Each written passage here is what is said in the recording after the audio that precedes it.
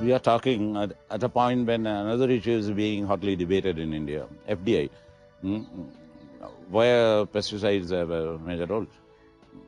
You we know, have the case of endosulfan. Uh, I'm saying pesticide, uh, FDI no, no, no, is an irrelevant issue for the simple reason that 90% of everything is already sitting in India. What do you All like your pesticides do? are already here. Hmm.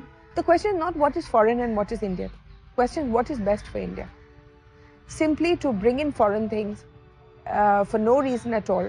No, no. Some of these, uh, what as accused or alleged, uh, is that some of these things which are discarded in Europe and America are coming to India. I would say 90%. Mm. The only reason why foreigners come to India is so that they can sell their junk to us. No. Whether it's McDonald's, whether it's fast food, things that are going out of fashion there, they are bringing here. And we are seen not as people, but as a market. And unfortunately, we allow ourselves to be seen only as a market. There are not too many voices similar to yours. Uh, what to do? Hmm? Why not? About 10 years ago, there was a study done in America in which they said that they found out how much change was brought about by people's movements and how much change was brought about by bureaucracy, people in the right job at the right time. And they found that only 7% of change was brought about by people's movements. And 93% was brought about by one administrator with a good heart and a good brain sitting in the right place at the right time. There's a whole theory, you know. See, any any decision taken in a meeting is a compromise on the decision of the most intelligent person sitting there. That is the theory of capitalism, uh, basically, you know. But uh, but if we could just train our administrators, you know, it, it would be so much better. Administration, uh, you know, Indian bureaucracy, uh, much. One much of the reasons mm. why the Indian bureaucracy is like this is because there is no penalty on bribery. There's no penalty on bribery at all. Which is the last person who went to jail for bribery? Nobody. Then what happened to the politicians? No, I'm saying the politicians go to jail if they go. Mm. If they go. But uh, no policemen go, no bureaucrats go. So, I mean, those, example, that couple uh, that was caught in Madhya Pradesh. Kanimozhi, Kanimozhi was arrested here. Politician, she went to jail? No, uh, our CEO also was arrested there. That's her CEO, no? Mm. But no bureaucrat went to jail for giving her the money. There are 5 lakh bureaucrats, minimum. Or maybe mm. more, maybe 10 lakh bureaucrats. Mm. How many of them have been taken to court? None. You know, a, no, a zero tolerance for corruption everything else will fall into place. Everything else. Zero tolerance for corruption is all pervading issue in India, and. Uh, but people okay, don't believe in it so much. Uh, people uh, have got used to it, and uh, and politicians. Nobody's got used to it. Uh, Everybody has got used to your being asked a bribe. If I'm asked a bribe, it's like being raped. Hmm. You know, it's nobody's used to it, and yet we don't stand up for people who risk everything. Anna Hazare came. What did he have to gain? He made a team. They fought so hard. This 70 year old man fought so hard. And yet, at the end of it, India was so apathetic that he came and he went. We allowed the newspapers, which are owned by big business people, to come and, and make fun of him, to um, throw wild allegations against his team members. So finally, they said, what, what, Why should we care? To hell with it. And they went back. Where are we going to get another one like him? There's a, an occasion to me which was lost. That's right.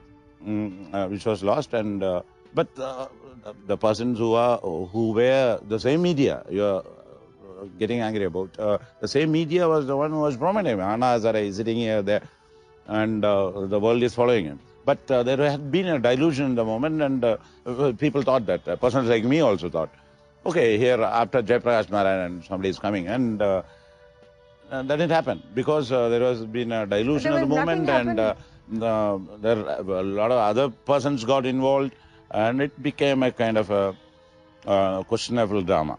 No, no, it became a circus. Mm. But the point is that we lost the, the message in between.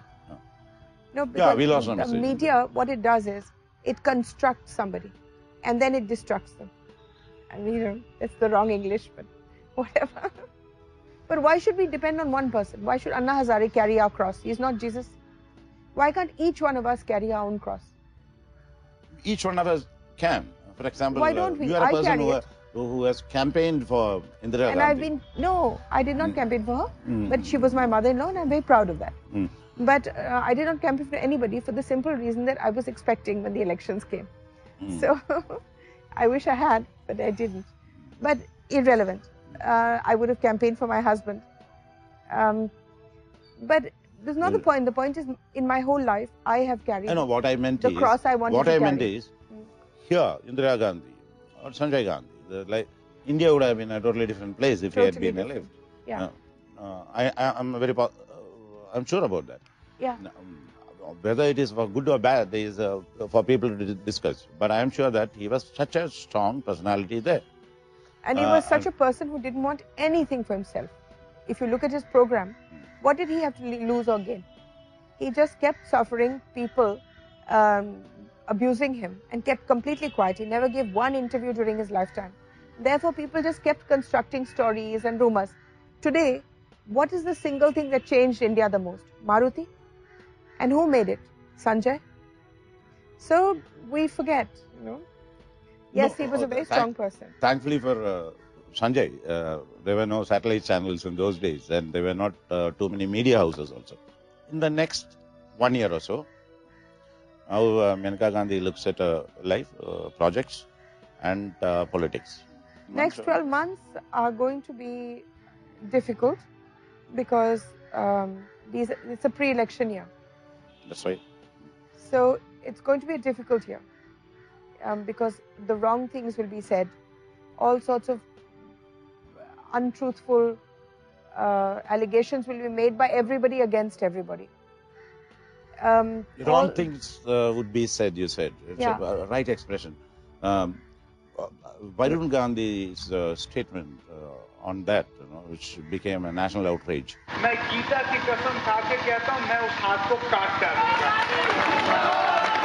Was it a right statement or wrong? No, no. He himself is really sorry. He is sorry.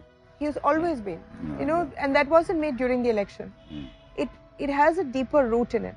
In Yeah. my constituency, what had happened was a, a number of temples had been defaced. You know, and people were very scared. Then there were two murders that took place, and somehow I was not able to deal with it administratively because it wasn't our government. And everybody was very frightened at that point, and it was becoming more and more and more communal. And I think what he tried to do in his in in a in in a sort of over dramatic way was to try and reassure uh, one community that they were going to be protected, and it was really overly dramatic. But it had nothing to do with politics. The നാം elections. ആ, സംസാരിക്കുന്നത് ഈ ഉത്തരേന്ത്യൻ സംസ്ഥാനങ്ങളിൽ നിന്ന് ഇപ്പോഴും നിലനിൽക്കുന്ന ചില പ്രശ്നങ്ങളുടെ കാര്യത്തിലാണ്. എങ്ങനെയാണ് ന്യൂനപക്ഷം പഴയ ഓർമ്മകളിൽ വേദനിക്കുന്നത്? എങ്ങനെയാണ് ഭൂരിപക്ഷം അതിനോട് പ്രതികരിക്കുന്നത് എന്ന കാര്യത്തിലാണ്. I like to take no out of you found that this polarization communal polarization how is it over these from the first election you vote and the present day No, polarization is huge. communal. huge communal polarization. It's become worse? It's become much worse because it's pampered so much. You see, the Chief Minister of Uttar Pradesh will give money for a minority girl child to be born, but he will not give money for a Hindu girl child to be born.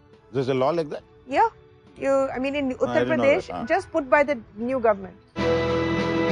Now, this slaughterhouse, this terrible slaughtering that is taking place in Kerala, is taking place on Tamil Nadu cows, on Karnataka cows, on Andhra cows. It is totally illegal. But if I tell the chief minister now to stop it, he will say elections are coming.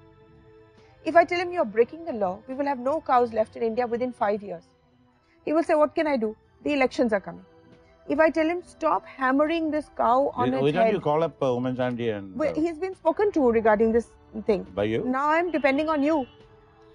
I've spoken to Mr. Anthony. So you, Oommen Chandy താങ്കളോട് നേരിട്ട് സംസാരിക്കാൻ സാധിക്കാത്തതുകൊണ്ട് അല്ലെങ്കിൽ നേരിട്ട് സംസാരിച്ചിരുന്നു അത് താങ്കൾ നേരാമണം ശ്രദ്ധിക്കാത്തതുകൊണ്ട് തെരഞ്ഞെടുപ്പ് വരുന്ന ഒരു കാലഘട്ടത്തിൽ ഇപ്പോൾ കേരളത്തിൽ ഈ പശുക്കളെയും ആടുകളെയും ഒക്കെ കൊല്ലുന്ന രീതിയുടെ അശാസ്ത്രീയത നിയമലംഘനം വീണ്ടും ശ്രദ്ധയിൽപ്പെടുത്തുകയാണ് Maneka Gandhi I spoke to Mr. Mm. and I showed him the film. And I said, What is this? Now he's a very straight person and a good, honest human being. He's also vegetarian. Mm. So no. he said, no, I'll speak to the chief minister. But the point is, what will the result be? He'll say, elections are coming. What do elections have to do with how you kill a pig or how you kill a cow or how you kill a goat? Nothing. It is a system that has to be put right. Uh, Let me give you one example of how we can put it right. Hmm. Because I know you're going to ask me that question later. And that is, anybody who prepares food in this country has to have a diploma or degree. All right? Anybody who prepares medicine has to have a degree or diploma, whether it's pharmacist or anybody else. So why is it that a butcher does not have to have a diploma? If he gets a six-month diploma, he, we will then get safe food. There is a Food Safety and Security Act. It says I am entitled to food which is safe and secure. If those animals are killed in this terrible way, acidity builds up in their bodies. Adrenaline builds up. In- uh, and what they are going to ultimately eat is poison. ultimately what what meat eaters eat is total poison and they get cancer why not train the butcher why not make proper slaughterhouses I know this is very severe, this problem in Kerala. Uh, which other states in India are also badly affected? west bengal that's it Tamil Nadu is better off. Tamil Nadu, Much better. Karnataka. much better That's because uh, these butchers are trained. No nobody is trained in india nobody is trained for instance all over india dogs are being sterilized in kerala you will refuse to do sterilization and you will there kill are them some uh, NGO groups. no nobody is sterilizing Uh, who are uh, catching all Every the, uh, time we try dogs and uh, and killing them. them. No, they are No, no, in- protecting them. There are in uh, Trivandrum, Yeah. in Tiruvananthapuram, Hmm. there are two. One of them is my hospital, Hmm. and one of them is a foreign lady called Avis Lyons. Yes, I have met. But the government has tried to put Avis into jail three times, only for protecting dogs. She has case upon case on her. She's got cancer now. So what is going to happen? I'm saying Kerala is so educated. There's so many wonderful things that you can do. I'll, but the violence in Kerala is sort of big, genetic. I'll give you one example. The whole of India, by law, I stopped dissection in schools. They stopped in the 90s. And we've had so many generations come out of schools now who are good doctors, good biologists, which have not been dissecting. Kerala was I, I dissecting. know that theory about your. No, no, wait a minute. Hang on. Kerala continued to dissect. Then I wrote to the chief secretary. I think her name was Lizzie Jacob. Jacob. Yeah. And I said, please stop it. She was good enough to immediately call a meeting and they stopped. Hmm, Otherwise, they were killing all the large animals. But they removed the killing from these uh, mice and uh, to cockroaches. So I wrote to her and I said, why are we killing cockroaches? One, it gives diseases to children when they touch them. Two, people will start growing cockroaches and selling them to schools. Three, nobody is going to become a cockroach doctor. Right? So why should they Can't learn? say, but. Uh, No, there are no cockroach doctors. Not yet. so she wrote back saying, we have to kill something. Now that for me is the typical statement of Kerala. Know, I have to say this.